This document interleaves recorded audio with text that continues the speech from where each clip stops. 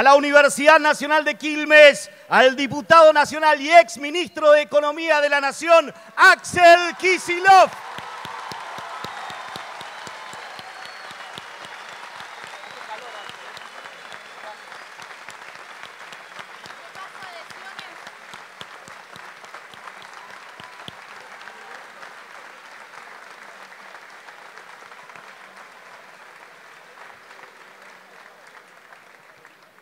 Antes del inicio formal de esta conferencia, daremos lectura a un par de adhesiones más. La cooperativa Sembradores por la Identidad, la Cultura y el Trabajo adhiere a la presencia de Axel Kisilov en la Universidad Nacional de Quilmes, al igual que la comunidad India Quilmes Tucumán, que están presentes en este gimnasio de la Universidad Nacional de Quilmes.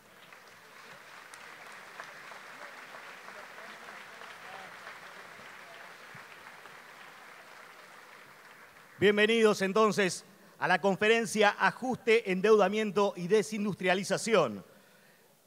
Presiden la ceremonia o presiden, están sentados en el escenario Carlos Bianco, docente investigador de la Universidad Nacional de Quilmes y ex secretario de Relaciones Económicas Internacionales de la Nación.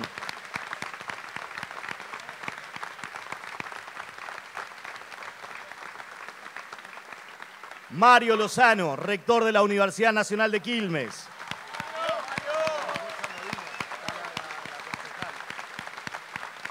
Eva Mieri, concejal por el Frente Quilmeño para la Victoria. Y el diputado nacional por el Frente para la Victoria por la Ciudad de Buenos Aires y ex ministro de Economía y Finanzas de la Nación, Axel Kisilov.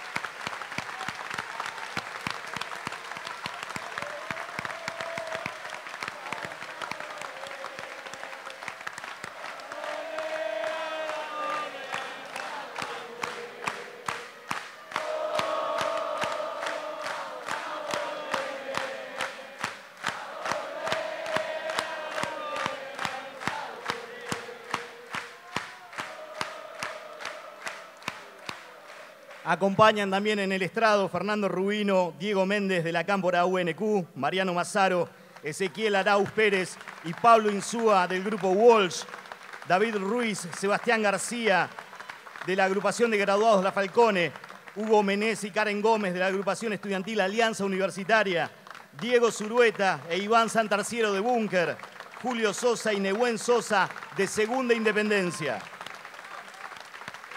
Se encuentran presentes organizaciones sociales y agrupaciones de graduados y estudiantes de la Universidad Nacional de Quilmes, la Cámpora UNQ, Grupo Walsh, Agrupación de Graduados María Claudia Falcone, Agrupación Estudiantil Alianza Universitaria, Segunda Independencia, Búnker y muchas organizaciones más.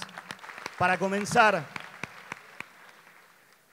tomará la palabra el rector de la Universidad Nacional de Quilmes, Mario Lozano, para dar unas palabras de apertura y dar presentación formal a esta conferencia.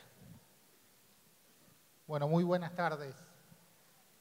Muy buenas tardes a todas, a todos los que están aquí presentes y que vinimos, cada uno de nosotros, a escuchar la conferencia del querido Axel Kisilov sobre este tema, sobre cómo la economía nos afecta, nos conduce, y se usa en términos políticos para llevar a este país hacia un lado o hacia el otro. Hoy Axel decía, hablaba de dos modelos en términos muy genéricos y efectivamente hay dos modelos.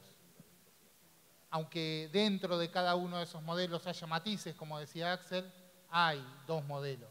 Y nosotros los que estamos aquí Estoy seguro que el 100% de los que están aquí sentados y parados adherimos a uno de esos modelos, un modelo que tiene que ver con una economía con mirada popular, con una economía que no considera a los seres humanos un número más, con una economía que no se reduce a un análisis de una fórmula matemática aplicada en, una, en cualquier situación y que a diferencia de lo que dicen los economistas ortodoxos, nosotros creemos que la economía que nosotros, a la que nosotros adherimos, a la mirada económica a la que adherimos, es mucho más compleja que la economía ortodoxa.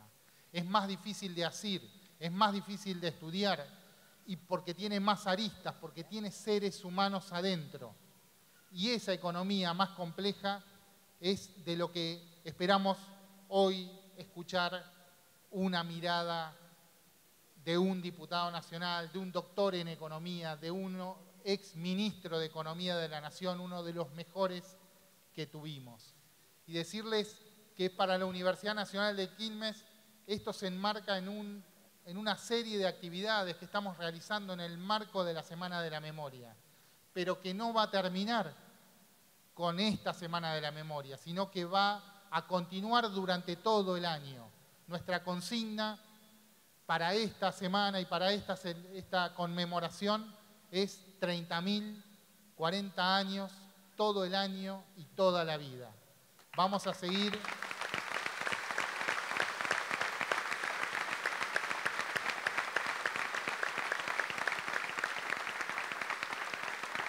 vamos a seguir poniendo de cara a nuestra sociedad todo lo que nosotros podemos hacer, podemos eh, transmitir respecto a la peor de las y más sangrientas de las dictaduras que sufrió este país. Y vamos también a, no solo a mostrar esos signos negativos, sino también a resaltar aquellas cuestiones que nos enorgullecen de este pueblo, que nos enorgullecen profundamente, como es la actividad que llevaron adelante durante todos estos años y que seguirán haciéndolo nuestras madres y nuestras abuelas. No es casualidad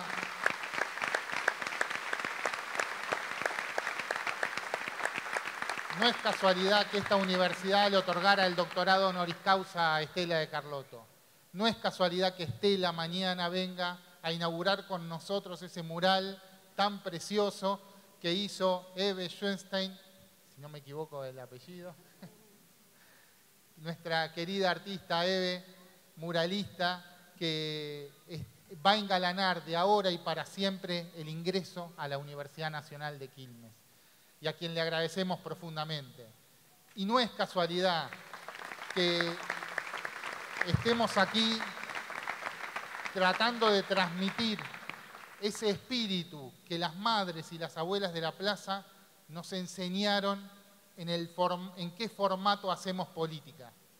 Ellas perdieron lo que más querían. Ellas lo perdieron de la manera más cruel, más inhumana posible, a los seres más queridos, a los que una madre más cuida. Y sin embargo jamás, jamás hicieron justicia por mano propia. Ni siquiera en los momentos más terribles del neoliberalismo del país, que ahora aparentemente están volviendo. Ni siquiera cuando los jueces le cerraban las puertas y no avanzaban con el juzgamiento de los responsables de estos crímenes. Nunca tomaron justicia por mano propia. Nunca un represor en este país fue fusilado en la calle. Nunca fue atacado ni siquiera los, más venales de ellos. El único acto de represión fue un cachetazo que recibió esa mala persona de Astiz en un, eh, en, un restaurante, si no me equivoco, en Bariloche. Pero nada. Y eso nos, y su actitud, la actitud de las madres y las abuelas, yo estoy seguro que fue lo que nos permitió a nosotros consolidar esta democracia, la más larga de la historia de la República Argentina, la más larga y la que sostiene todavía hoy, a pesar de todo lo que pasa, las políticas de memoria, verdad y justicia. Y quiero transmitirles esto sobre todo a los más jóvenes, porque estamos viendo claramente que este gobierno está llevando adelante acciones en tres direcciones que nos lastiman. La primera, destruyendo todas las acciones positivas de recuperación de derechos que los gobiernos de Néstor y Cristina llevaron adelante, muy rápidamente, en una gran variedad de aspectos. Y estoy seguro que todos los que estamos acá nos sentimos desilusionados con el proceso en el cual eligieron nuestros conciudadanos seguir el camino de esta democracia. Pero también están generando continuamente provocaciones contra quienes pensamos diferente, atacando todos y cada uno de los símbolos que nosotros respetamos. No es casualidad, porque al mismo tiempo una tercera acción que han hecho es destapar y abrir la caja de Pandora para que las fuerzas de seguridad actúen a su propio saber y entender, sin ningún control. Y sabemos muy bien qué pasa cuando eso sucede. Tenemos que ser muy cuidadosos en la forma en la que actuamos cada vez que actuamos, sobre todo en las movilizaciones y en los actos masivos, pero siempre tenemos que ser muy cuidadosos porque están buscando provocarnos para que nosotros respondamos y ellos tiren balas. Cuidemos a nuestros jóvenes, cuidemos a los más chicos, porque ellos son el futuro de este país. Ellos...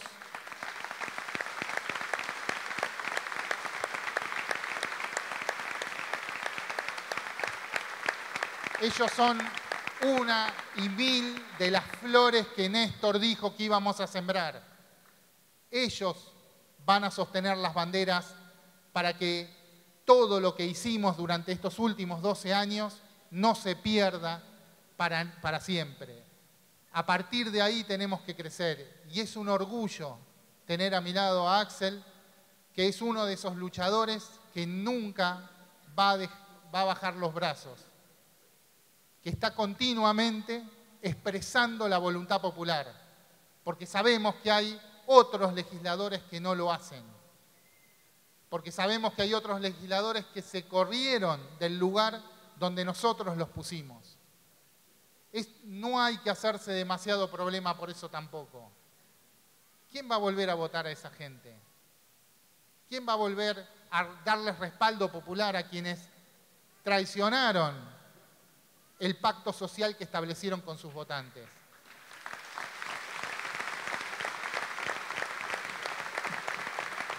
No nos apuremos, no nos apuremos porque del apuro salen cosas complicadas. Nosotros sabemos que vamos a volver, como ustedes cantan y como nosotros cantamos. Sin apuro, constantemente y con toda la fuerza. Muchas gracias.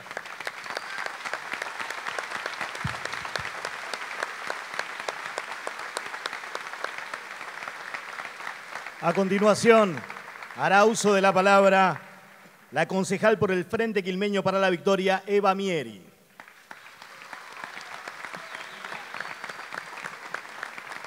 Bueno, buenas tardes a todos, a todas. Para mí es un placer enorme compartir esta mesa, única mujer, valga decirlo, representando el género como siempre. Primero que nada, transmitirles el saludo enorme de la compañera y diputada nacional Mayra Mendoza, que no pudo venir. Em, les mando un abrazo enorme, lamenta mucho no, no haber poder estado. Me ocupo en este caso de estar acá sentada. Eh, como decía, para mí es un gran orgullo. Primero como estudiante de la Universidad de Quilmes. Esta casa que me abraza cada semana y cada cuatrimestre formándome para poder seguir en este camino largo de militancia, de estudio, de formación y de una nueva gestión, porque a eso tenemos que apuntar. Como decía Mario, nosotros tenemos que seguir formándonos, seguir militando, como dice el compañero Máximo Kirchner, perforando conciencias y conquistando corazones para poder volver. Siempre bajo la única conducción de nuestra compañera Cristina Fernández de Kirchner.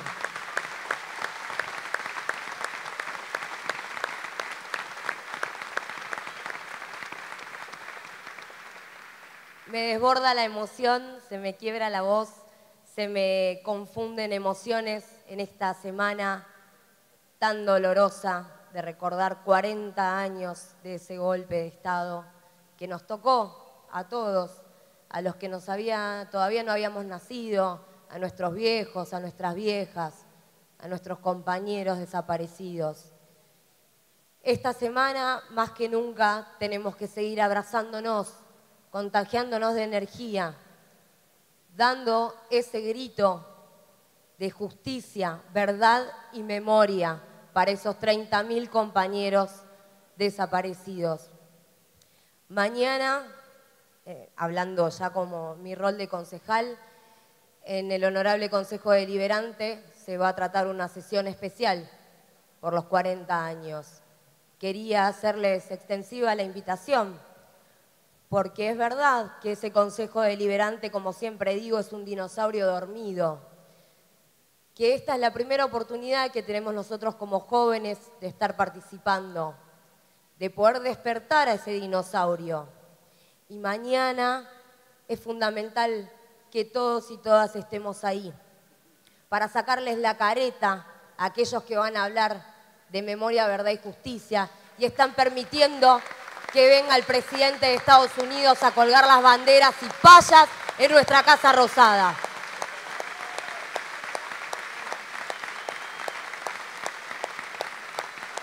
Compañeros, compañeras, no me queda nada más que agradecerles la presencia, agradecer al compañero Axel que esté aquí en nuestra casa de estudios, en nuestra patria chica que es Quilmes, y seguir levantando las banderas de esa patria justa, libre y soberana con las que soñaron Perón, Evita, Néstor y Cristina. ¡Viva la patria, compañeros!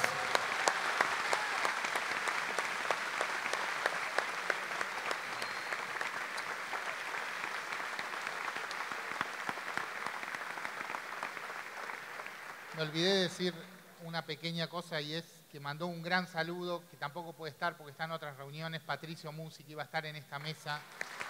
Un intendente muy, muy querido.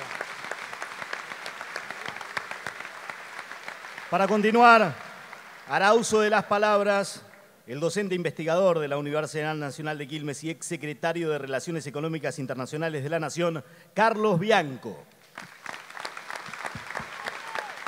Bueno, Buenas tardes, compañeros, compañeras, colegas de la universidad, egresados, estudiantes, obviamente las autoridades. Gracias Mario nuevamente por invitarnos, por permitirme que estemos acá en esta jornada de reflexión y debate, a los compañeros de las organizaciones sociales, de las agrupaciones estudiantiles y de las agrupaciones de, graduados de, de aquí de la universidad. De nuevo, para mí también, como decía Eva, es un orgullo y un placer estar en esto que es mi casa, Digo, yo hace 22 años que vengo recorriendo los pasillos de esta universidad, primero como, como estudiante, después como egresado, luego como docente, luego como docente investigador, luego como director de la Diplomatura en Economía y Administración, luego como vicedirector del Departamento en Economía y Administración y ahora luego de una experiencia en el Gobierno Nacional como comentaba el locutor, como secretario de Relaciones Económicas Internacionales de la Cancillería Argentina, junto al canciller Timerman, pero también formando parte,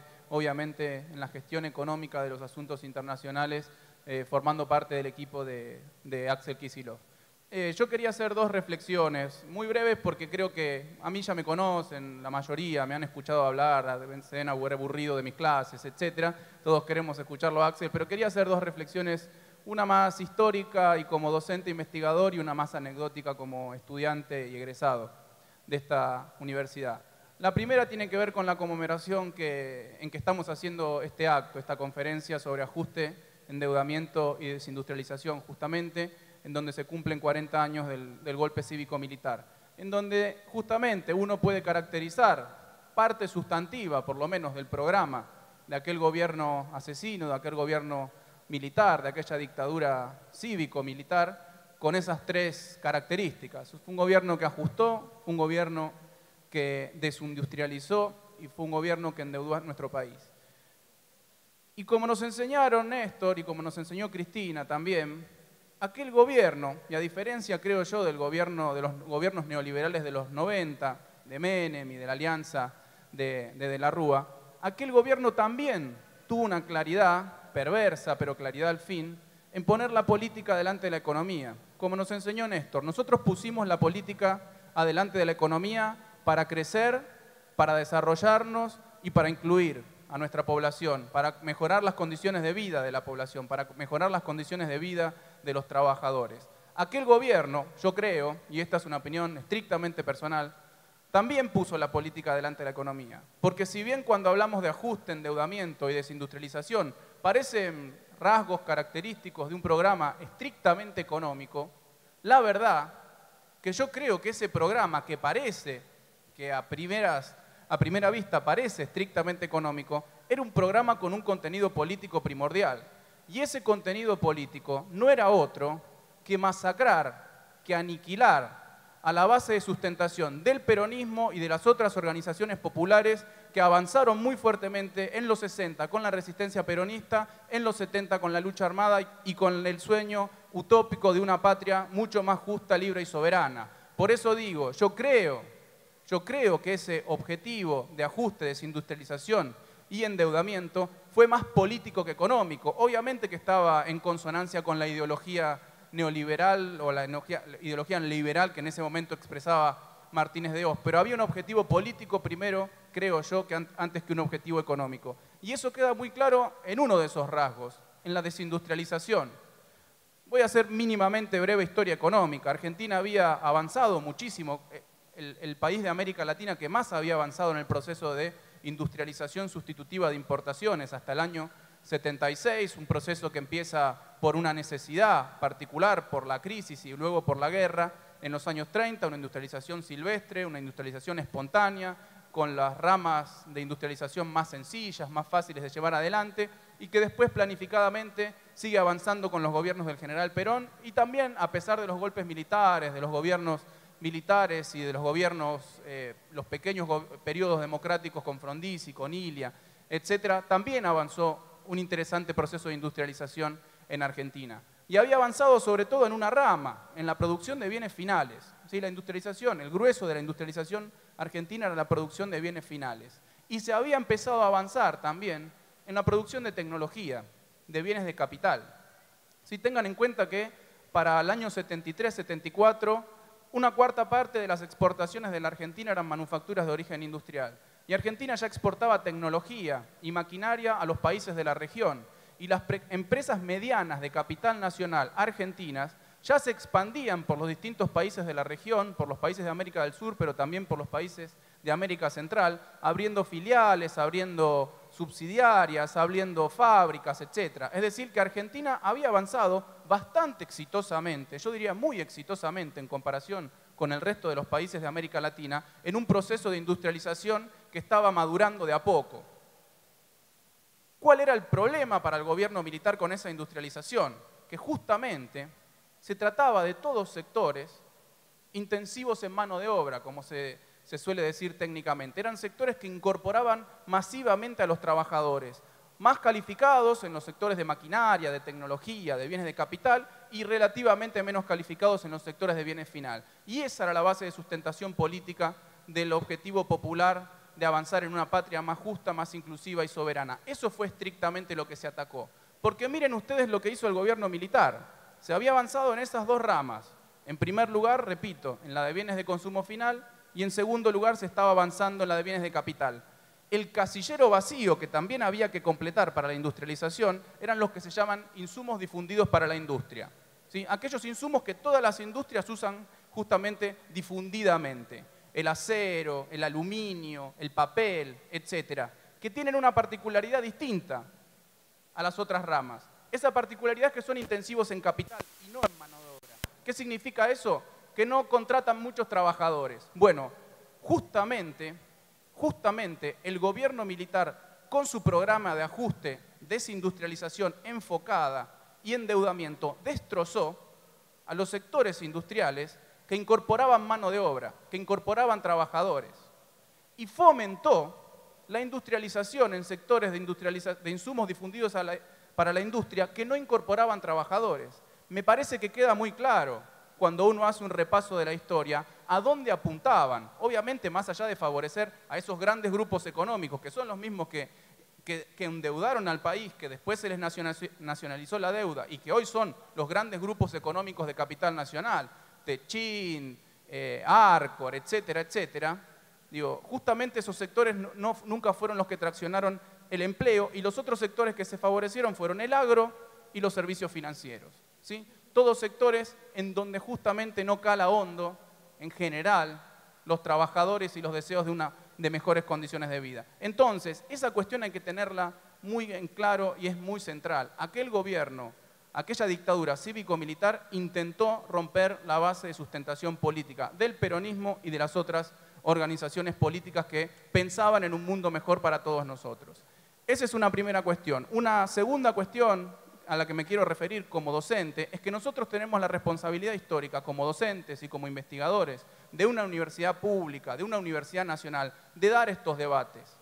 Porque si no la agenda mediática y la agenda política de, por ejemplo, este gobierno claramente neoliberal o que está expresando en un principio ideas profundamente neoliberales, nos marcan otra agenda. Hoy no se discute otra cosa en la agenda económica que deuda o ajuste, como si no hubiera otra opción.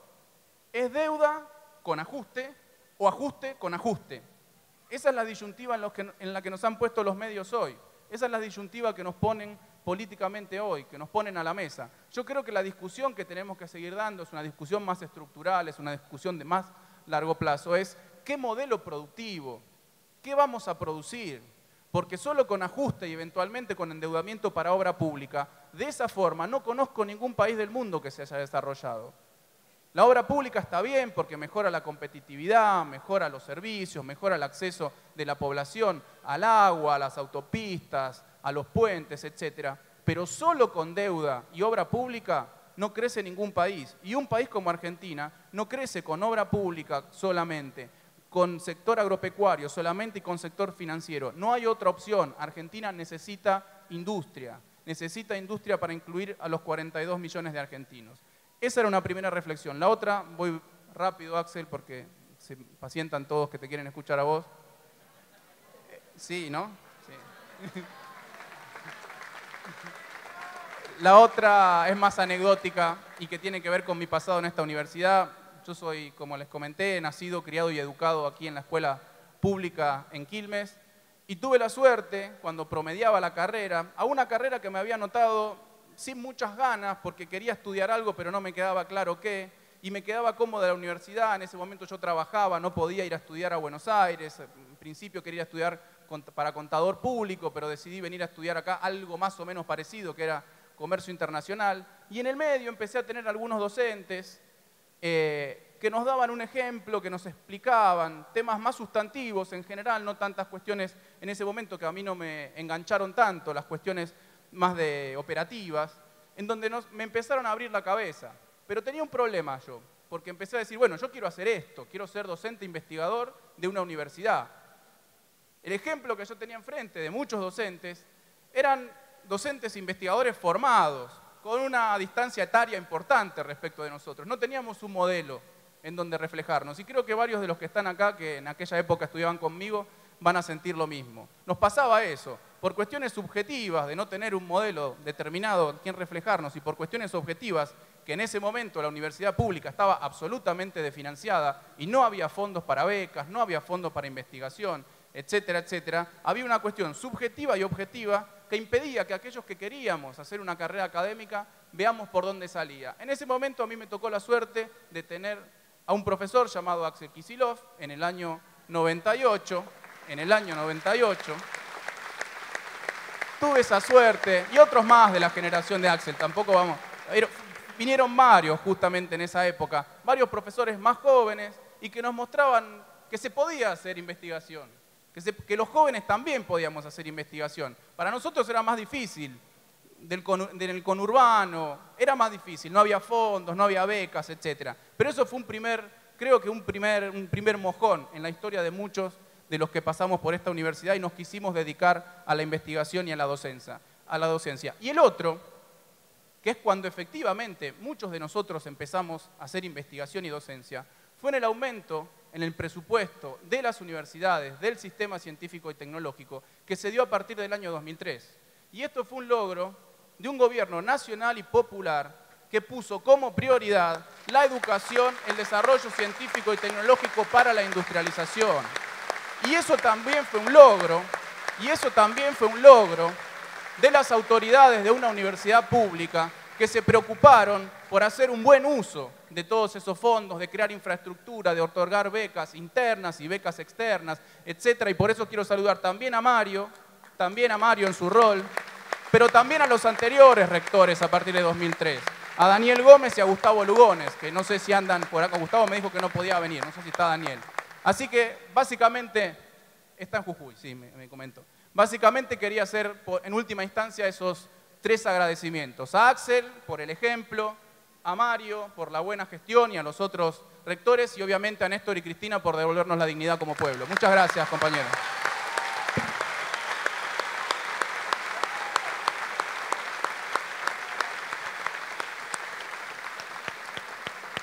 Y ahora sí, damos comienzo a la conferencia Ajuste, Endeudamiento y Desindustrialización por parte del diputado nacional y ex ministro de Economía y Finanzas de la Nación, doctor Axel Kisilov.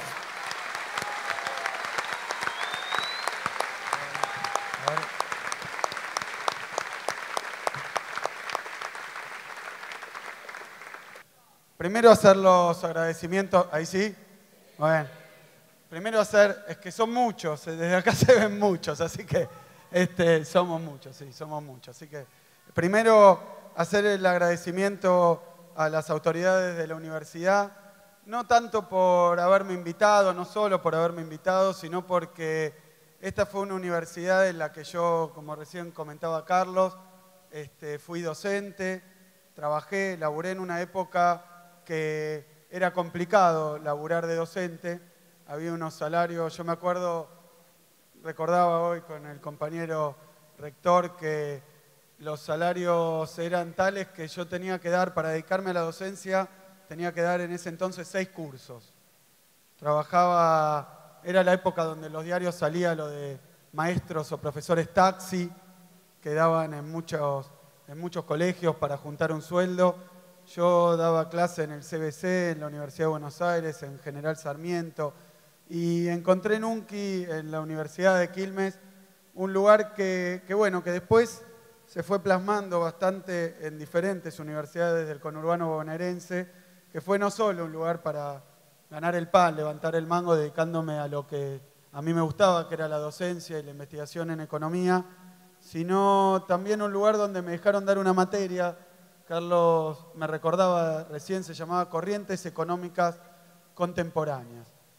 Era un programa dentro de la licenciatura en Comercio Internacional donde yo hacía un esfuerzo y que fue apoyado por las autoridades de entonces, que creo que era el rector, el papá de Alejandro, de Alejandro Villar en ese entonces, para dar eh, una economía, una teoría económica que en ese entonces me costaba más definirla, pero era una economía, eh, nosotros le decíamos heterodoxa, que es lo contrario de la ortodoxia, que básicamente quiere decir alternativa, distinta. Fíjense, yo daba clase acá, recordaba en los 90, en pleno auge del neoliberalismo, del menemismo, y la verdad es que los planes de estudio de buena parte de las universidades de todo el país, de toda la región, de todo el mundo, pero incluso de las universidades públicas, eran planes de estudio que, que estaban amoldados y que estaban diseñados a imagen y semejanza de los programas de enseñanza de las grandes universidades este, de los países centrales. Por eso hoy venir acá a la Universidad de Quilmes, donde yo di un, programa que armé yo, que me dejaron armar y que me dejaron enseñar. Tuve a Carlos de alumnos, pero otros tantos que, que no veía hace rato y son hoy docentes en la universidad, pero que yo creía que se tenía que dar en la universidad pública porque la universidad pública la paga el Estado, la pagan todos los argentinos, así que tenía sentido dar en la universidad pública economía que pensara en la realidad de los argentinos. Así que ver hoy unas fotos que me llegaron en el teléfono de, la Casa Rosada, de algunos otros lugares públicos tan, tan caros, tan importantes para nosotros, ver esas fotos con una bandera norteamericana flameando, la verdad que me llenó de dolor. No porque, no porque eso signifique necesariamente que hayamos vuelto a la época de la colonia, que una potencia extranjera hacía flamear su bandera en los espacios de gobierno, pero me hizo acordar estar acá a algo que yo creo que es central y que hoy en este acto, en un acto en el marco de la Semana de la Memoria, tan significativo en los 40 años del golpe del 76, y desarrollado en la universidad pública con algo que quería agradecerle por eso a las autoridades, porque es un acto no para esa comunidad universitaria exclusivamente, abierto a los vecinos, abierto a la comunidad de acá de, Quilmes y de la zona, porque ahí ya me encontré con algunos que me dicen que han venido desde otros lugares a presenciar esta charla, pero me hace acordar que un gobierno circunstancialmente puede poner banderitas extranjeras y de potencias extranjeras en lugares públicos y lugares este, tan simbólicos como es la Casa Rosada, etcétera. Pero este, poner esas banderitas que van a lo simbólico y que van a, un poco a la imagen y a, generar postales que uno pensaba que no iba a volver a ver en el país, no pasa por alto el hecho de que muchos de nosotros, como los rectores de esta universidad y de otras, los docentes, los investigadores, de esta universidad, más allá y de otras universidades nacionales, más allá de esas banderitas que pueden flamear este, por un rato en algún lado de nuestra Argentina, más allá de eso, mantienen en alto lo único que nosotros tenemos que mantener en alto y en nuestro corazón, que es la bandera argentina. Así que...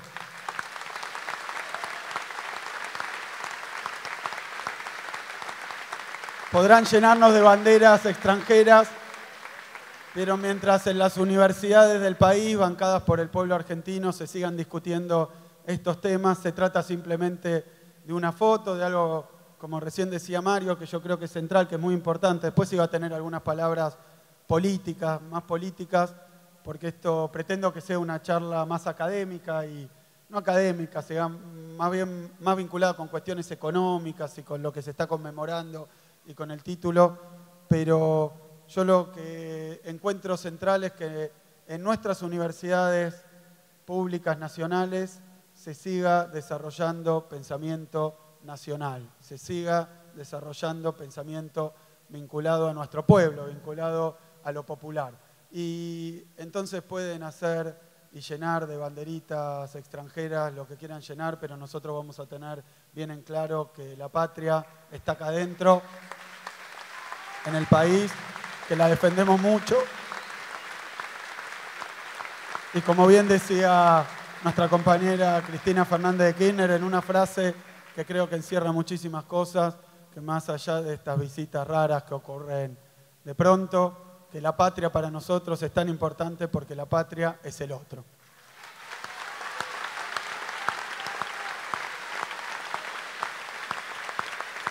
Decía lo de Mario porque yo creo no creo, estoy convencido de que los lugares que eligieron para llevar al presidente norteamericano, que es un presidente de otro país y que hay que atenderlo y recibirlo como tal, y no hay que bajarle ni subirle el precio, simplemente eso, pero que lo, hayan llevado en esta semana al Parque de la Memoria, que lo hayan llevado al Centro Cultural Néstor Kirchner, que han cerrado para los argentinos, pero abierto para los extranjeros, porque esto ya es un patrón que se repite, que hayan puesto esas banderas.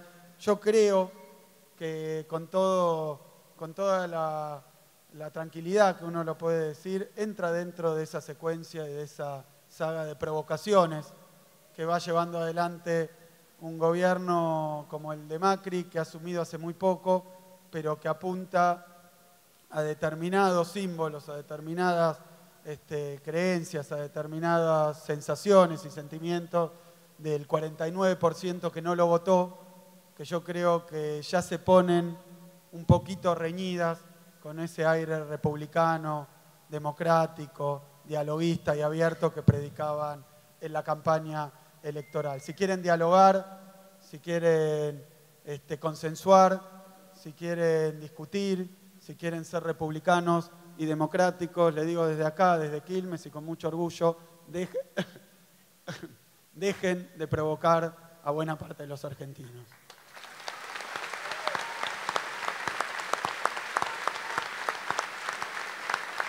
porque nosotros sí somos verdaderamente democráticos, populares, nacionales, no vamos a, no vamos a responder con la misma moneda, no vamos a responder esas provocaciones, pero sí tenemos muy en claro qué pensamos y sepan todos que lo demuestra la multitud que se ha reunido hoy acá, que no nos van a poder, por más que se hagan amigos o sean socios de los canales de televisión y de los diarios de más difusión en la Argentina, no nos van a callar la boca.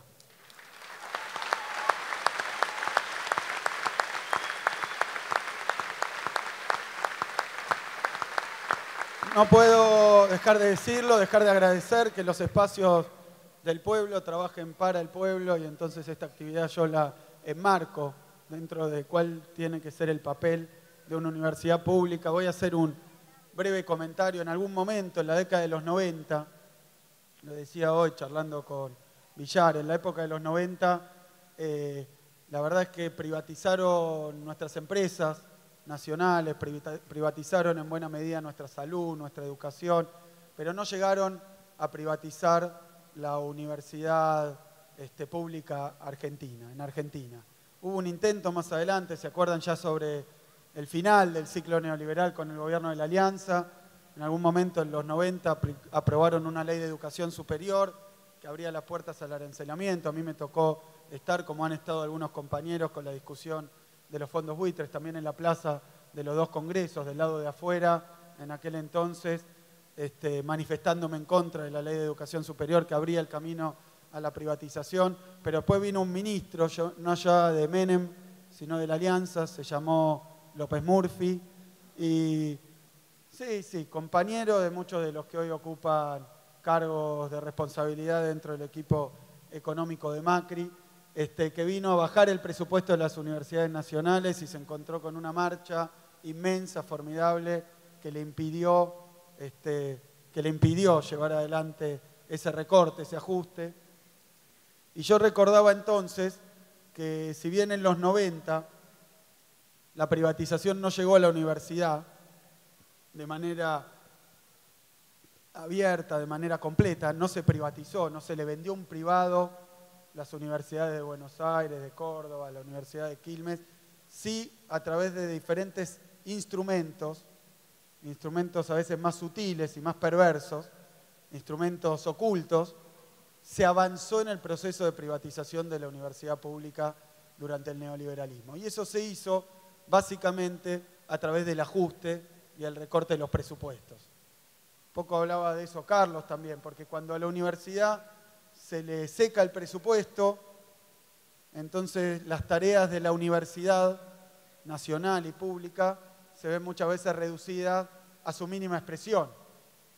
Nosotros en los 90 hablábamos de convertir a la universidad pública en un enseñadero, en un lugar, y yo, perdonen la referencia personal, yo estudiaba en la Facultad de Ciencias Económicas de la UBA, ahí en Córdoba y Junín, que es una universidad que opera en la morgue, en la morgue judicial. Vieron que tiene esa gran chimenea, está alrededor de la morgue, no era su lugar original, ahí estaba la Universidad de la Facultad de Medicina, pero la facultad este, tiene una arquitectura muy extraña, donde nosotros como estudiantes encontrábamos que tiene como dos edificios o tres, pero no se puede pasar de un edificio a otro, porque habían hecho tabiques que bloqueaban el camino que unían los diferentes edificios, de la misma forma que no había un comedor estudiantil ni ningún lugar para la reunión de los estudiantes.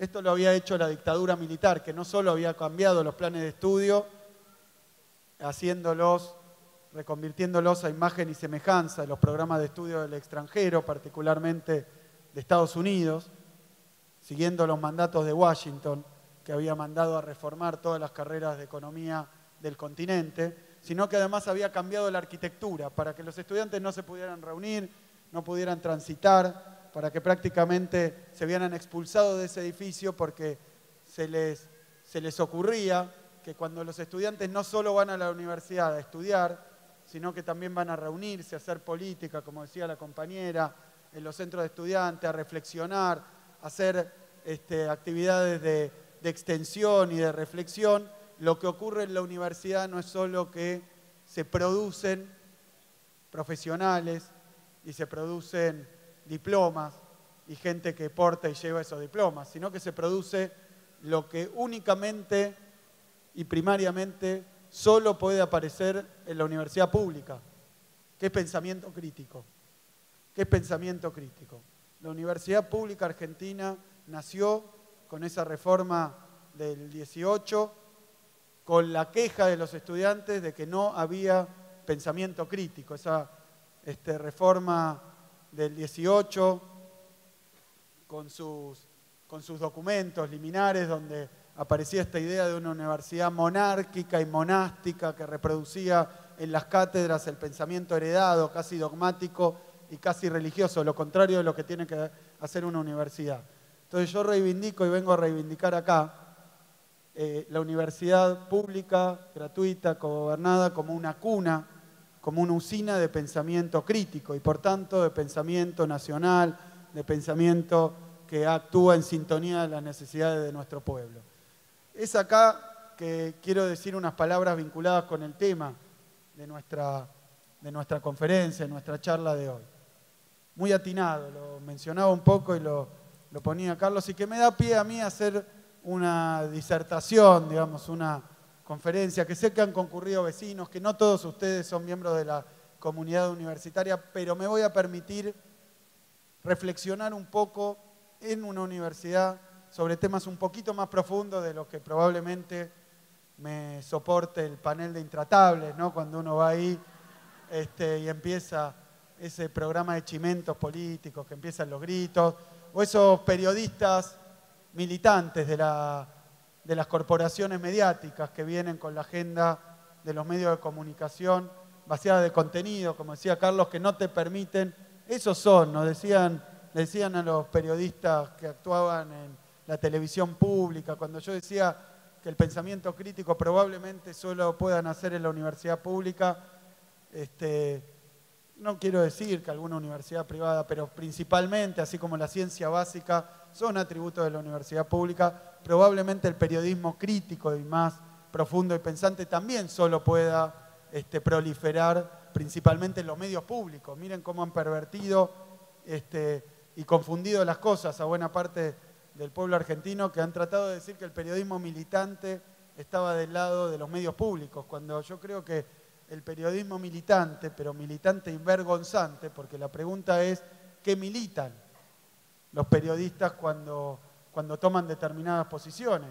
Y es vergonzante porque probablemente muchos de los periodistas que operaban dentro del marco de los medios públicos tenían un pensamiento político, mientras muchos de los periodistas que estaban dentro de los medios privados también militaban, pero militaban para causas inconfesables, que eran la causa de la billetera y el bolsillo de los dueños de los conglomerados mediáticos que los albergaban. No me estoy refiriendo a todos los casos, pero indudablemente esto se, proyecta también a la cuestión de esa televisión tan vacía que llevó al problema que yo quiero plantear hoy.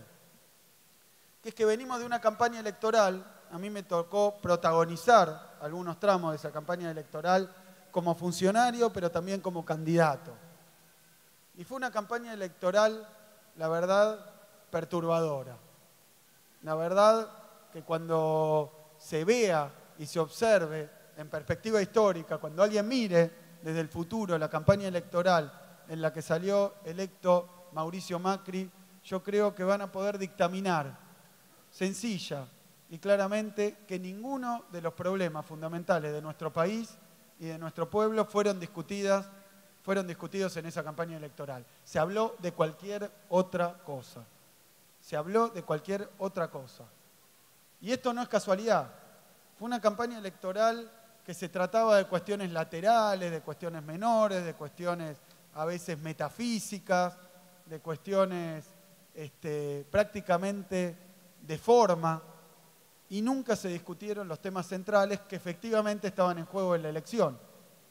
Pero en aquel momento, a través de esa campaña, que contó con la complicidad y a veces con la ingeniería y la arquitectura de los medios masivos de comunicación dominantes, que todo el tiempo se, ocupaban de distraer la atención de los votantes y de nuestro pueblo acerca de las cuestiones centrales que estaban en discusión efectivamente en las urnas, pero no en la campaña. A punto tal que cada vez que a mí me tocó dar una de estas charlas, tal vez no en una universidad, a veces vengo de dar una en Córdoba con 20.000 participantes, 20.000 participantes, que, que en Córdoba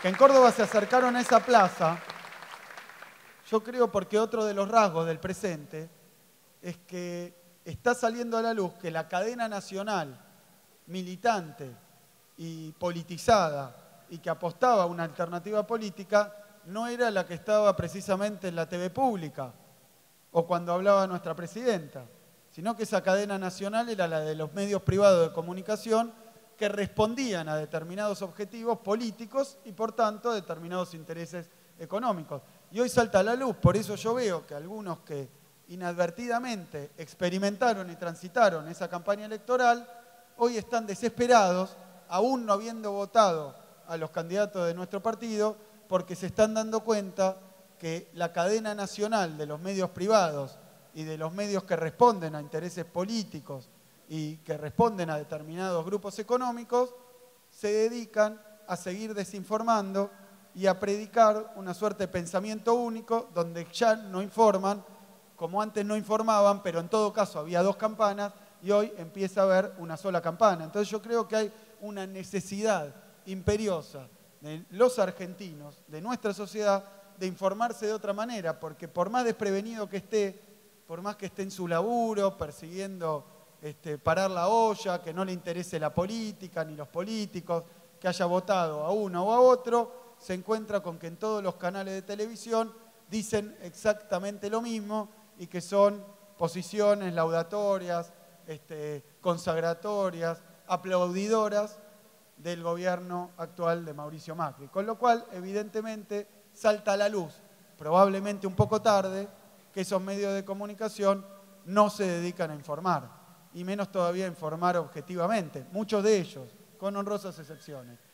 Pero entonces esto y esta charla de hoy me permite hablar de un tema que es muy difícil, que me ha ocurrido estar en diferentes, en diferentes y quiero decir que los 20.000 personas presentes no es el número que doy yo, es el que daba, por ejemplo, el diario La Voz, que es del grupo Clarín.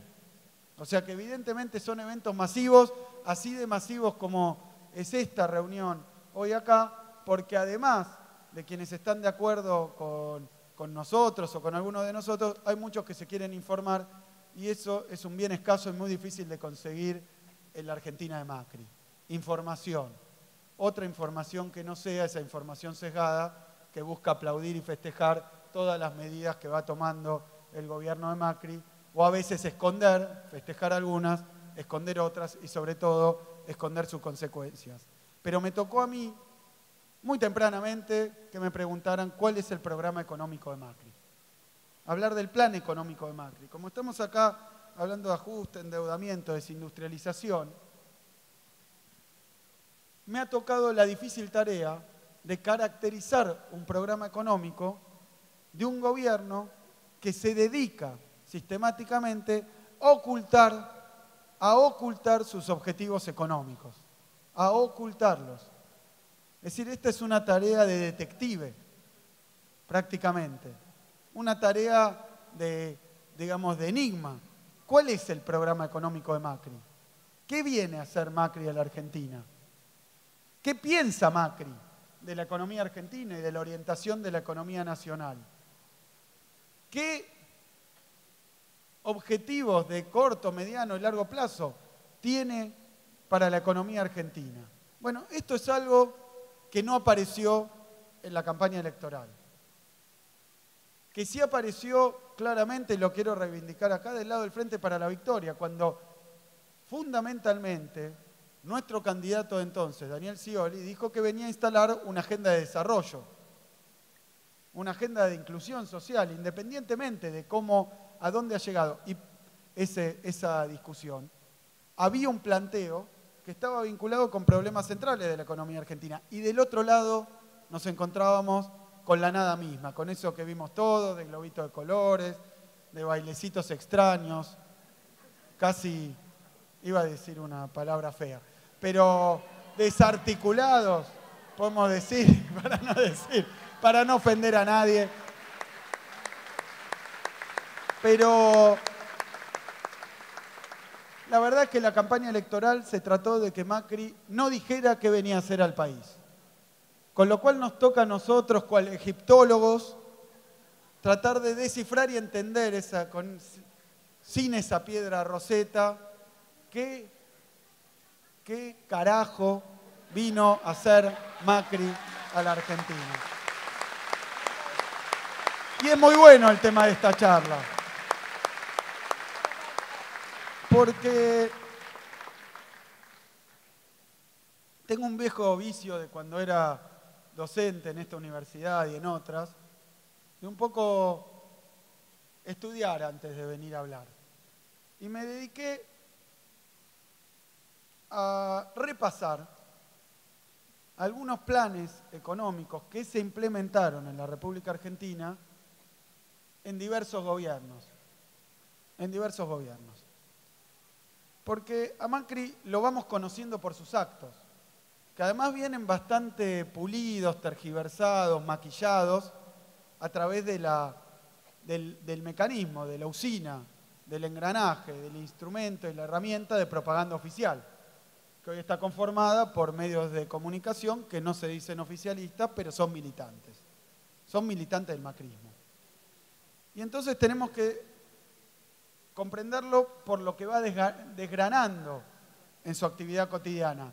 Y entonces contamos ya con 100 días de gobierno de Macri. Entonces yo me dediqué, antes de hablar un poco del plan económico de Macri, de repasar, por ejemplo, el plan económico que se conoce históricamente como Plan Previs, que vino precedido de algo que se conoció como el Informe Previs. Es el plan económico implementado a partir del año 55 en la Argentina. Hay un texto, está disponible en la red, lo pueden ver, se llama Informe Previs. No es tan largo, no es tan pesado y es interesante para leerlo, porque es el informe de este señor, Raúl Previs, que es un teórico de envergadura, al que yo respeto, al que yo respeto como teórico. Tengo mis críticas, pero como teórico lo respeto. Era keynesiano, en eso yo siento alguna afinidad. Escribí un librito que se llamaba Guía de Keynes, que fue el primer libro de texto para explicar el pensamiento keynesiano acá en la Argentina. Fue uno, uno, de los principales este, voceros de la teoría de Keynes, pero acá escribió un documento que la verdad es deplorable, que se llamó Informe Previs. Yo voy a leer algunos, muy breves, y para no aburrirlos, muy breves, algunos puntos de ese informe Previs, que fue lo que precedió, digamos, lo que vino antes del plan económico de la dictadura militar que apareció después del derrocamiento del general Perón. Y repasaba también, siempre estudiar tiene estos, estos privilegios, ¿no? el que tiene tiempo y el que se hace un espacio para estudiar y ahora con, todos esos medios este, que están disponibles en la red, no quiero ser como Aguad, ¿no? que prácticamente había, sí, descubrió Internet en ocasión de ser ministro del área, ¿no? Yo quiero decir que cuando me tocó ser ministro de Economía, ya sabía un poco qué era la economía. Le recomiendo Macri que nombre ministros en cada área que tengan algún mínimo conocimiento del área que vienen a... Pero fuera de esto, quiero leer alguna frase textual y después recordar algo de esto que fue el informe Previs. Decía textual, la Argentina atraviesa por la crisis más aguda de su desarrollo económico. El punto central del informe Previs es caracterizar el gobierno peronista como un gobierno de crisis. Después empieza a caracterizar lo que había hecho el gobierno del general, los dos gobiernos del general Perón, y dice que desalentó las exportaciones, dilapidó las reservas en nacionalizaciones, repatriaciones de deuda, porque ustedes saben que si alguien desendeudó la Argentina fue Perón, que entregó el país con deuda cero, eh, y generar déficit en la balanza de pagos. Dijo que las inversiones públicas se habían concentrado en inversiones no productivas, que el Estado había crecido demasiado, no usó la palabra ñoqui, pero la, pero claro, ni la palabra grasa, pero la, sugería, pero la sugería que las políticas salariales y monetarias, o sea, crediticias expansivas, habían generado mucha inflación, que había excesiva regulación de la actividad económica. Y una vez dicho esto, eh, expuso algunas cifras mentirosas, desmentidas por todas las estadísticas nacionales e internacionales, acerca de qué había ocurrido durante los dos periodos de gobierno de Perón, marcando que la tasa de crecimiento, el 46 al 55, había estado en el orden del 3,5%, cuando incluso la CEPAL, o sea, las Naciones Unidas, incluso Prebisch, cuando antes de ser funcionario de la dictadura había estado en Naciones Unidas, había reconocido que el crecimiento de la economía había estado en un promedio del 12%. Yo lo resumo porque antes de llevar adelante el plan económico de la Libertadora, que nosotros llamamos fusiladora, pero antes de llevar adelante el plan económico de la dictadura, lo que hizo es dedicarse a tergiversar, a mentir, a cambiar y a tratar de convencer a todos los argentinos de que lo que había ocurrido era muy malo, que había generado tensiones, que esas tensiones había que corregirlas, sincerar las variables. Ese era el lenguaje que se usaba ya en el año 55, después de una experiencia este, como fue la experiencia del gobierno, el primer y segundo gobierno de Perón. Después mentía con las cifras, engañaba, y todo esto era el preludio para llevar adelante un plan económico que consistió en una devaluación, con una unificación cambiaria. No sé si le suena. El tipo de cambio pasó de 6,25 a 18, una apertura del mercado libre de cambios, financiamiento con reservas y endeudamiento de corto plazo. En el 56 se da algo que el gobierno de Perón había resistido, que también tiene alguna semejanza con la actualidad, que es que Argentina finalmente suscribe el acuerdo y entra al Fondo Monetario Internacional en el año 56. O sea, apertura de la economía a las importaciones. Apertura comercial se llama eso. Apertura financiera, que se llama sacar todos los controles al libre acceso de capitales desde el exterior. Devaluación, ajuste de las cuentas públicas. Obviamente, lo que ellos llaman sinceramiento de las tarifas. Bueno, estas medidas estuvieron presentes en el programa económico que Previs empieza a llevar adelante con la revolución este, libertadora. Pero si uno sigue y ve otra experiencia similar, es la que empieza en el llamado Rodrigazo del 75 y que continúa con el golpe de Estado del 76. Voy primero al Rodrigazo. Devaluación, suba de los servicios públicos, quita de retenciones, suba de los combustibles, aumento o liberalización de las tasas de interés sobre, sobre los préstamos, eh, reducción de lo que entonces eran las retenciones a través de precios sostén para, para el sector este, agropecuario, Y después paso al programa económico que le continúa, que es el de Martínez de Oz. Voy a mencionar 12 puntos.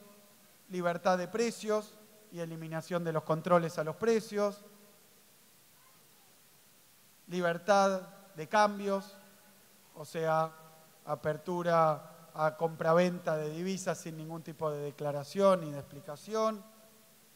Libertad del comercio exterior, o sea, liberalización de las exportaciones libertad de exportación, o sea, levantar todas las restricciones a la, exportación de los saldos de, básicamente agrícolas, libertad de las tasas de interés y aplicación de la reforma financiera del 77, liberación, en este caso, de los alquileres, eliminación de las tarifas subsidiadas a los servicios públicos, libertad de contratación en los salarios, o sea, eliminación de las paritarias, libertad para las inversiones extranjeras y libertad de transferencia de toda tecnología, o sea, aplicación de las leyes de patentes extranjeras y no protección de los desarrollos tecnológicos locales. Y, y después voy al plan económico del 91, la convertibilidad, y con esto termino el repaso histórico. Reducción del déficit fiscal a través de medidas de apertura comercial indiscriminada, achicamiento del Estado, aplicación de reformas impositivas, liberalización de las tasas de interés, liberalización comercial, eliminación de toda trabo, restricción y control a las importaciones, liberalización de la barrera a la inversión extranjera directa, privatización de las empresas estatales y cambios en la gestión de las empresas estatales para participación de capitales privados, desregulación de los mercados. Me tomé el atrevimiento dedicar un tiempo a ver esto, porque estos programas económicos estos programas económicos tienen, y lo he visto por las caras de algunos de ustedes, y lo he visto por, por la experiencia que estamos viviendo, tienen y guardan sospechosas similitudes con el plan económico que subrepticiamente, de manera maquillada, camuflada y muchas veces tergiversada, viene llevando adelante en estos primeros 100 días el gobierno de Mauricio Macri. Y esto es un rasgo muy importante que a nosotros nos da la pauta, y hablo con quienes han votado a Scioli, han votado al Frente para la Victoria, pero también con quienes no lo han votado, que pueden estar presentes acá. Nos da la pauta, nos da la pauta con respecto a dos temas que creo que son centrales. En primer lugar, en primer lugar, que ni Macri ni su equipo económico ha caído del cielo y ha nacido por generación espontánea. No es así. Esta línea de pensamiento y esta genealogía, es decir, esta herencia en términos de programa económico, responde a uno de los dos modelos de país que planteaba Mario recién. Y no es la primera vez que este programa económico, con sus variaciones, porque yo no vengo acá a defender que Macri es Martínez de Oz, no vengo a defender eso. Lo que vengo a decir es que las medidas económicas que ha tomado Macri hasta el momento tienen sospechosas, incómodas y hasta diría repugnantes similitudes con algunas medidas económicas que ha tomado el liberalismo y el neoliberalismo en la Argentina en numerosas oportunidades. Y digo esto porque el gobierno de Macri, miren, hoy leía el diario, hoy leía el diario y encontraba que los diarios militantes del macrismo aparecía una noticia, una buena noticia, una buena noticia, que era que los bancos por una regulación del Banco Central, no iban a cobrar más, no iban a cobrar más por las cajas de, de ahorro. De ahorro. Que para empezar, por medidas que tomaron los gobiernos de Néstor y Cristina, ya no cobraban. O sea que acaban de anunciar, como el otro día que anunciaron ese plan Belgrano, un montón de créditos que había conseguido el gobierno de Cristina. Como a mí me tocó gestionarlo, puedo decir estrictamente que no hay un dólar más que los que consiguió el gobierno de Cristina en el anuncio de Macri. Ni un dólar más, ni una obra más, nada. Es un refrito de un anuncio que ya hicimos en varias oportunidades, pero de un trabajo ajeno. Así que puedo felicitarlo al gobierno de Macri que al menos, a diferencia de otras áreas, no cerró esos programas y va a llevar adelante importantes obras que había conseguido y que había pactado Cristina con organismos multilaterales. Pero lo que quiero decir es que ese anuncio de hoy del Banco Central ocultaba otra medida. El Banco Central de la República Argentina y lo que tendría que haber dicho hoy en todos los diarios y figurado en todos los diarios es que el Banco Central de la República Argentina, a través de su presidente, lo que acaba de, acababa de hacer era desregular las comisiones que le cobran los bancos a todos ustedes. O sea, lo que hizo fue darle piedra libre al sector financiero concentrado argentino para que le cobre cualquier barbaridad a todos los que tienen algún servicio bancario.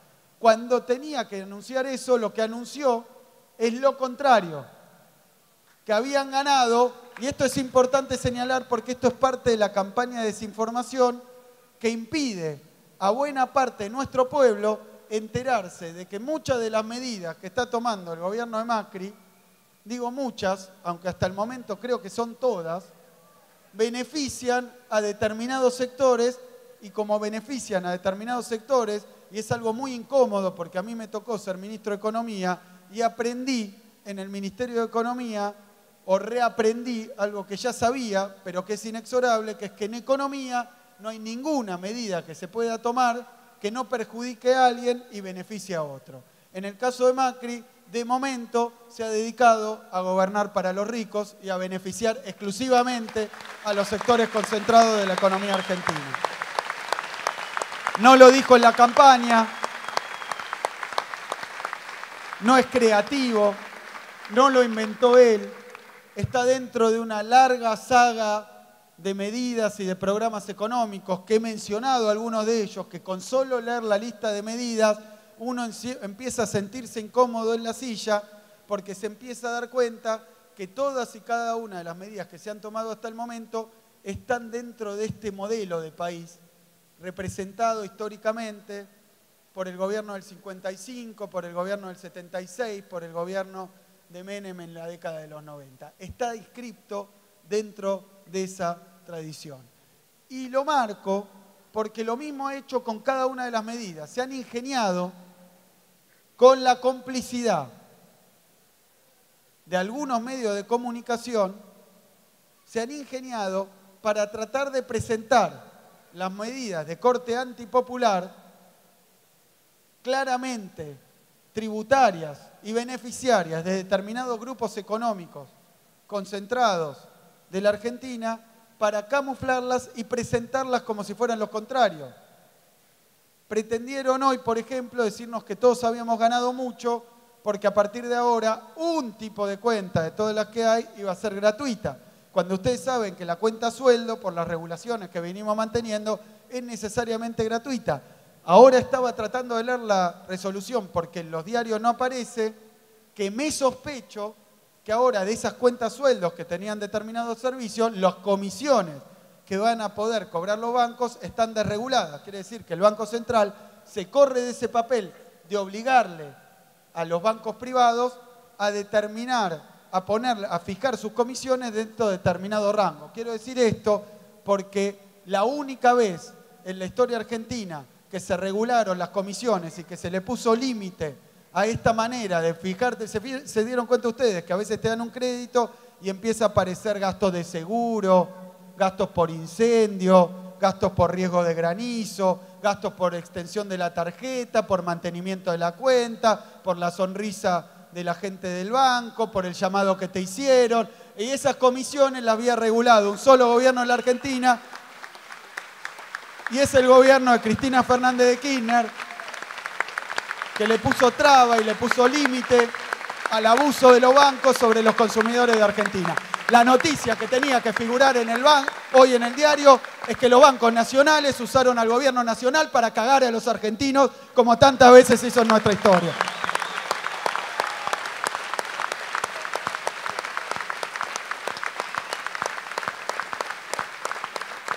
Por eso, porque yo me acuerdo, mira, voy a contar una experiencia personal. Cuando acababa de asumir Macri, yo me había, yo me había propuesto, yo me había propuesto no tener eh, una actividad, una hiperactividad en los medios, no aparecer todo el tiempo, no estar todo el día discutiendo. ¿Por qué?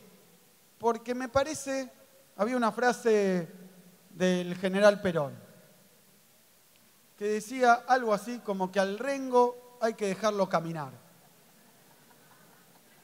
Porque si no, y sin ningún tipo, lo cito de Perón, era otra época, tal vez ahora somos más políticamente correctos, pero lo que quiero decir es que cuando estás sentado, viste, capaz que no te das cuenta, pero cuando se pone a caminar, te das cuenta de, esta de esta situación? Bueno, yo pensaba lo mismo, que además hay que dejarlo caminar un poco, porque también se le facilita mucho la tarea si aparecemos los referentes del Frente para la Victoria todo el tiempo polemizando, porque decía yo, si nosotros estamos este, todo el tiempo discutiendo, criticando, nos van a decir, bueno, denle tiempo, esta frase que tanto se escucha, que a mí me gusta decir que esa frase yo ya la escuché en otro lado. ¿Saben dónde la escuché? Me acuerdo muchas veces, que, pero me pasó una vez hace no tanto, por eso siempre cito el mismo ejemplo. Fuimos al cine con mi mujer. Estábamos viendo la película, llega 40 minutos y la película era un bodrio. Yo le decía, vamos, no, vamos a comer. Y, me decía, no, pará, dale tiempo. Cuando te dicen dale tiempo, tengo dos enseñanzas. Una, que la película es mala. No está buena la película. Dale tiempo quiere decir venimos muy mal pero vamos a tener paciencia. Y en la segunda enseñanza es que yo nunca encontré una película que después de 40 minutos mejore demasiado. Así que, este... Pero yo era partidario, no obstante, de no servirle, como quien dice, punchimbola al, al gobierno de Macri, que no pueda, digamos, sacarse sacarse o distraer diciendo esto, lo hizo tal, lo hizo tal. Y efectivamente empieza el gobierno y de las primeras cosas que hace. Quiero decir que yo pensaba hacer esto, pero algo, algo en mí eh, que, es más fuerte que yo, me parece, me, impidió, me impidió ante la evolución de los acontecimientos eh, acatar mi, propio, mi propia receta. No, no pude respetarlo, porque ¿saben por qué? Porque el día 16 de diciembre, a seis días de asumir, el gobierno de Macri anunció, como anuncia ahora, que las cuentas que ya son gratis van a seguir siendo gratis, y no anuncia que las que antes eran gratis las van a cobrar, sino que lo embellecen, lo, lo tergiversan y lo muestran distinto. Y en ese momento me acuerdo de una conferencia de prensa, yo siempre digo, con un tono prácticamente sanmartiniano, ¿no? ¿Se acuerdan ese Seamos libres? Vino el actual ministro de Hacienda, a decir, los argentinos son un poco más libres porque no hay más cepo. ¿Se acuerdan? Tienen una libertad, hemos ganado una libertad que es comprar dos millones de dólares. Una libertad que no todos los argentinos, señor Macri, podemos ejercer, solo algunos de sus amigos y conocidos. Comprar dos millones de dólares. Yo me vengo a enterar después porque no dijeron que para comprar los dólares había que llevar los pesos, ¿no?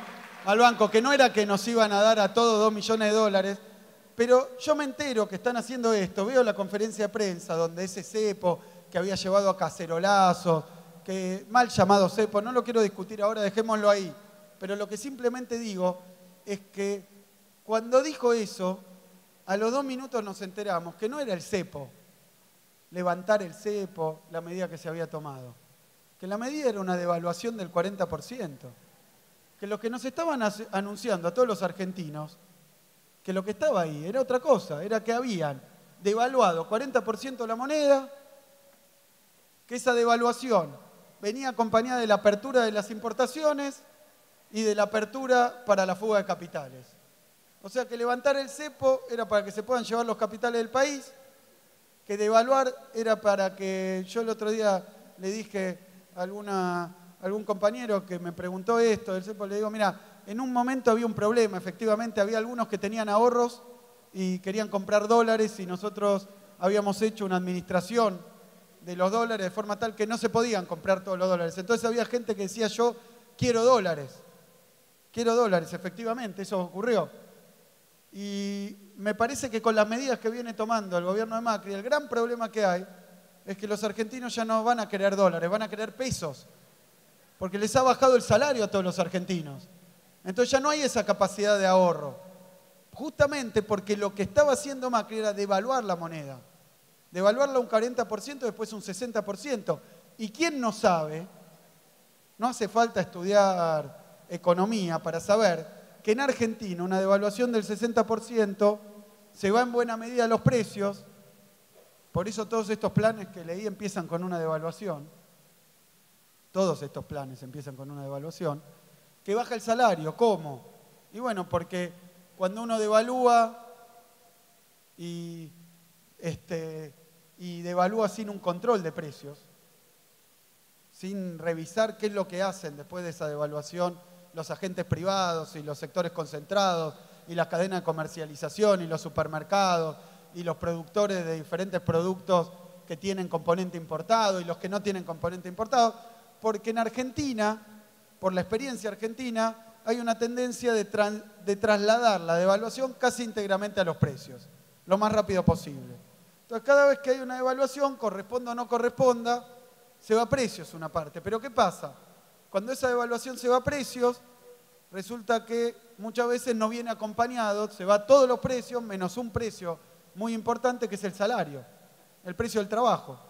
Ese es el único que no se mueve con el dólar. Ese es el único que no se mueve con el dólar. De forma tal que los precios crecen en determinada proporción.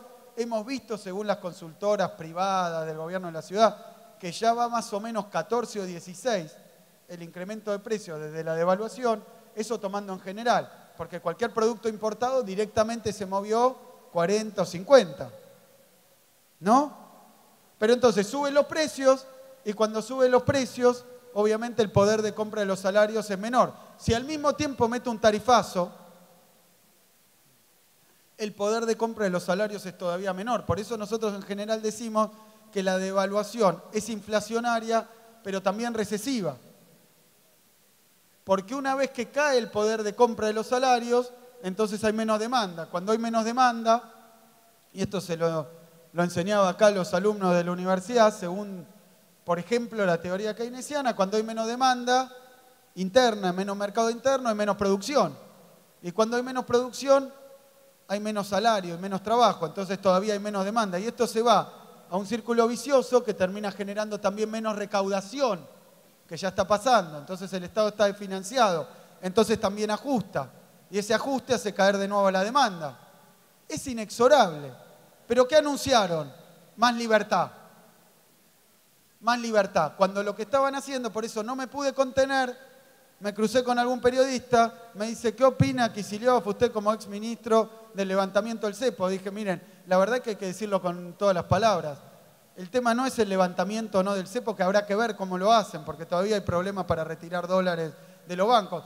No es ese el tema. Lo que acaban de anunciar con todas las letras es una devaluación del 40% de la moneda. Y la devaluación en la Argentina es siempre parte, parte de un plan de ajuste que trae desgracia y miseria para nuestro pueblo. Entonces, hablen con todas las letras, expliquen lo que están haciendo, no se escuden atrás de la propaganda, no desinformen al público y cuéntenle lo que está haciendo el gobierno de Macri. Está aplicando a seis días de asumido un programa que históricamente, no lo digo yo, no tengo la bola de cristal, pero que históricamente ha traído las consecuencias que ya conocemos que vienen a plantarse en el punto del título de esta charla.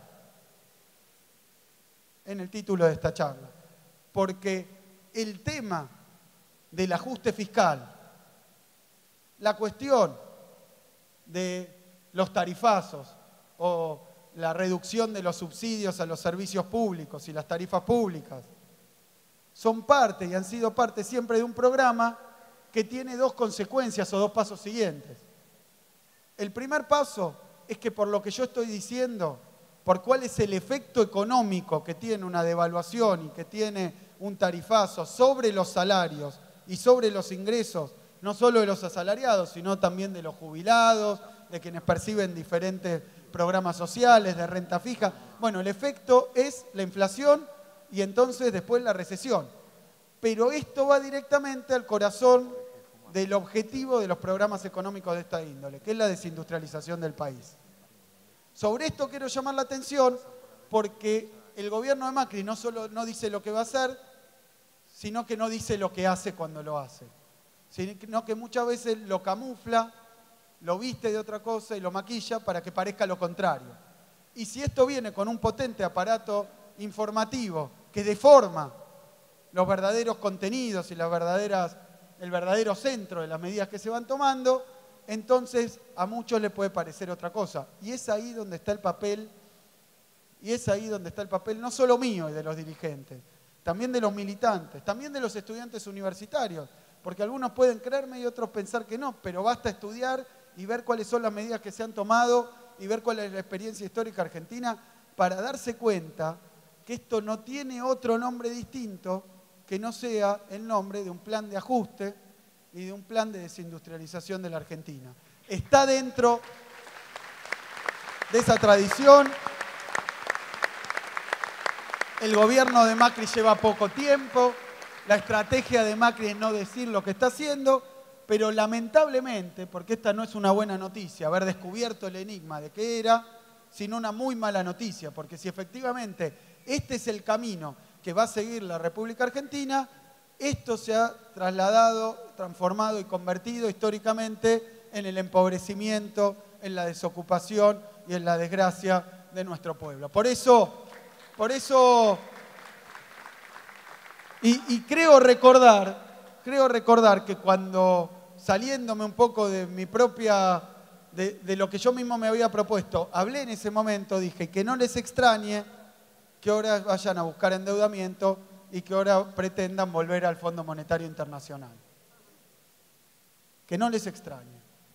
Y bueno, dicho y hecho, lamentablemente, esta cuestión, toda esta larga cuestión y este largo debate de los buitres no se trata de los buitres, paradójicamente. No se trata de los buitres. Yo creo que el gobierno de Macri ha actuado con desesperación en este tema, incluso fuera de programa. Yo creo que el gobierno de Macri va corriendo a arreglar con los buitres porque se encuentra que devalúa, abre a la salida y la fuga de capitales, abre las importaciones, permite retirar dólares. ¿Y qué encuentra? Como resultado, una caída de las reservas, una devaluación que continúa y se da cuenta que necesita conseguir divisas. Y recurre a lo que siempre han recurrido los gobiernos facilistas de corte neoliberal en la Argentina, que es al endeudamiento externo. Cuando va a hablar para pedir endeudamiento externo, esto es una suposición, pero estoy casi seguro que le ocurrió, porque me tocó estar hablando con los mismos interlocutores, lo que le dicen es, mirá, para prestarte plata tenés que arreglar ya con los buitres. Ya. Y le dan la orden de que tiene que ir a arreglar con los buitres, los bancos internacionales. Esta no ha sido una decisión soberana ni siquiera del gobierno de Macri. Ha sido una imposición del sistema financiero internacional. Ir a arreglar con los buitres. Como después va a venir, no soy profeta, no soy adivino, pero probablemente después le digan, todavía no te podemos prestar a tasas bajas hasta que arregles otro problemita, el tema del Fondo Monetario Internacional. Y ahí los van a ver a estos gerentones de empresas transnacionales corriendo a Washington a tratar de arreglar un programa con el Fondo Monetario Internacional, que es el paso siguiente en la secuencia que ha ocurrido tantas veces en la Argentina. Por eso decía que nosotros tenemos una tarea muy importante, porque yo puedo estar equivocado en todo lo que estoy diciendo. Pero ¿saben dónde está nuestra base para saber si estoy equivocado o no, si se entiende o no, si está pasando o no, en nuestro pueblo. Nosotros tenemos que hacer, y esta es la tarea militante, tenemos que llevar este tipo de discusiones al nivel más sencillo posible para que lo que no se discutió en la campaña y que entonces configuró una situación de estafa, porque Macri no dijo que iba a hacer estas cosas que está haciendo, habló de otras cosas, bailó otros bailes, pero no el baile de la lluvia de dólares que lo encontramos bailando hoy, bailó otros bailes que no son estos, discutió otras cosas que no eran estas, discutió la comunicación, la república, la ropa que llevaba Cristina, el tono de voz del ministro de Economía, pero no discutió el programa económico. Ahora que estamos viendo a 100 días vista cuál es el programa económico y cuáles son sus efectos sobre nuestros compatriotas, nos toca a nosotros no decir, yo te avisé, vieron que no era una campaña de miedo, vieron que yo sabía, vos lo votaste y te equivocaste. No, decirles que esto es una estafa. Que nadie en la Argentina, o muy pocos, votaron esto. Esto que está pasando hoy, que la gente que durante 12 años, cada año, pudo decir, bajo los gobiernos de Néstor y Cristina, que estaba un poquito mejor, la, la gran mayoría de todos los argentinos, con mucho esfuerzo, con mucha con mucha, realmente, con mucha fortaleza, con mucho heroísmo y con mucho patriotismo, Néstor y Cristina se pelearon con el que había que pelearse cuando había que pelearse, para sostener, antes que nada, el bienestar de nuestros compatriotas y de nuestro pueblo, ahora, esos 12 años en donde cada vez estuvo mejor cada uno de nuestros compatriotas, eso forma parte de una memoria histórica que nosotros no podemos dejar caer. Hay que ir a mostrarles que pese a todo lo que dijeron, este gobierno ha venido a hacer otra cosa. Y entonces tenemos que a 100 días de gobierno se han dedicado a generar unas condiciones económicas donde el único resultado que pueden mostrar es mil desocupados por día, mil echados por día.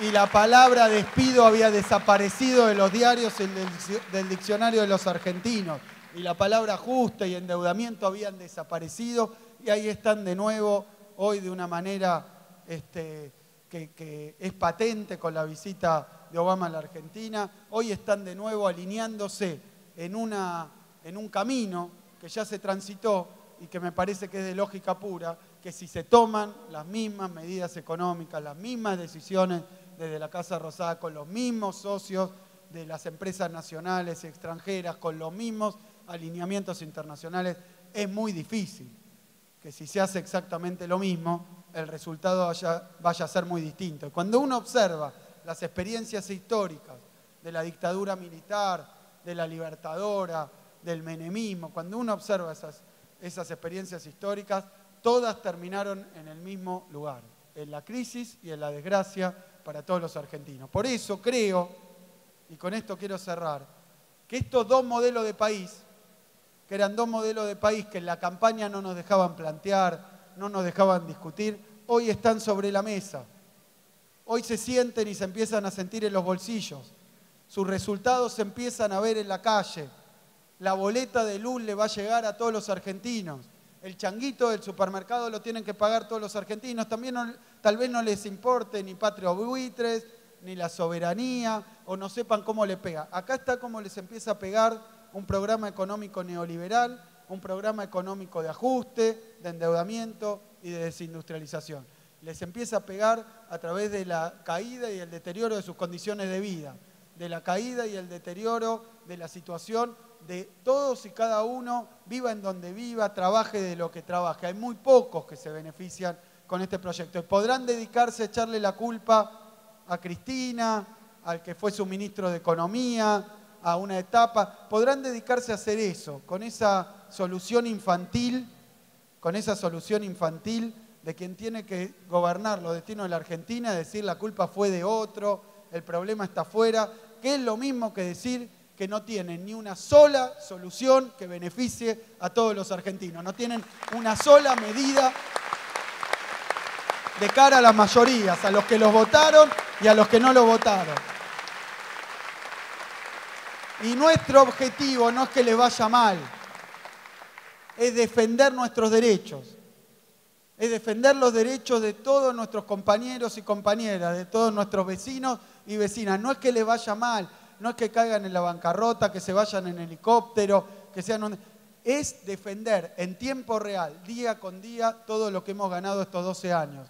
No podemos dejar que esas conquistas se caigan, no somos catastrofistas, no somos oportunistas, somos una fuerza política nacional, popular y democrática, que pese a todas las afrentas, a todas las provocaciones, nos vamos a dedicar a lo único que sabemos hacer. Cuando nos toca estar en la Casa Rosada, cuando nos toca estar en el Parlamento, cuando nos toca estar en los barrios, cuando nos toca estar en las universidades. Defender inclaudicablemente los derechos de nuestro pueblo.